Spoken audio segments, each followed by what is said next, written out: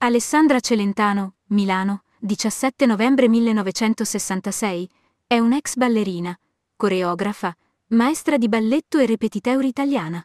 Dopo una carriera con ruoli da prima ballerina nella Terballetto in coreografie di Alvin Ailey, William Forsythe, George Balanchine e Glenn Tetley, lavora con Elisabetta Terabust e Amedeo Amodio e diventa maitresse de ballette repetiteue al Teatro alla Scala di Milano, al Teatro dell'Opera di Roma, al Teatro San Carlo di Napoli e al Teatro Comunale di Firenze. Alessandra Celentano, Milano, 17 novembre 1966, è un'ex ballerina, coreografa, maestra di balletto e repetiteur italiana. Dopo una carriera con ruoli da prima ballerina nella Terballetto in coreografie di Alvin Ailey, William Forsythe, George Balanchine e Glenn Tetley, Lavora con Elisabetta Terabust e Amedeo Amodio e diventa maitresse de ballette repetiteue al Teatro alla Scala di Milano, al Teatro dell'Opera di Roma, al Teatro San Carlo di Napoli e al Teatro Comunale di Firenze.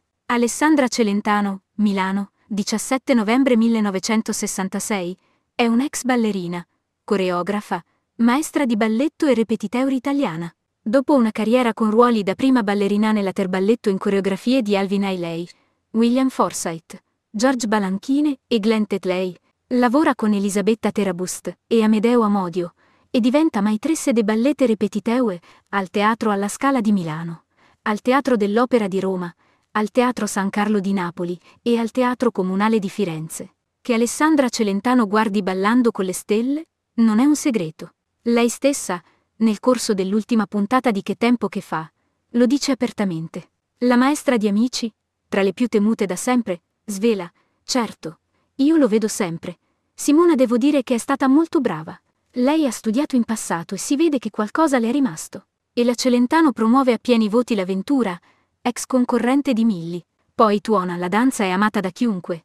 Poi è ovvio che non tutti sono portati e possono fare i ballerini, ma come qualsiasi altro lavoro. Non tutti